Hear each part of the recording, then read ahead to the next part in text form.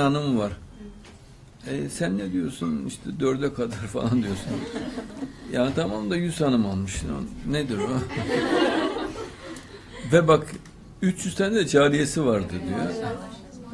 Niye gizliyorsunuz? Yani nereye varacaksınız bundan? Yani ne anlamazdan geliyorsunuz? Aşk insanlar onlar, aşk. Onlar konuyu saf şehvet olarak alıyorlar. Münafıklar. Halbuki orada bir Allah tecellisi var. O yüz kadın ve o 300 cari hepsi Allah'ın tecellisi. Orada aşk yaşanıyor, tutku yaşanıyor. Allah'a olan sevgi yaşanıyor. Ama haset ettiler.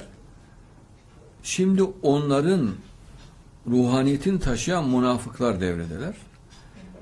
Onlardan dedemin Hazreti Hüseyin Hasan Hüseyin'in ve Ehli Beyt'in intikamlarını alacağıma Allah adına yemin ediyorum.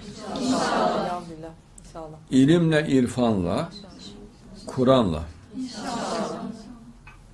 Yani gereğini yapacağız. Kanunla, hukukla ne gerekiyorsa yani inşallah.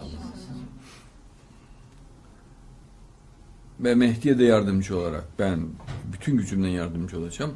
Onun da bu konudaki gayretlerinde her zaman yanında olacağım.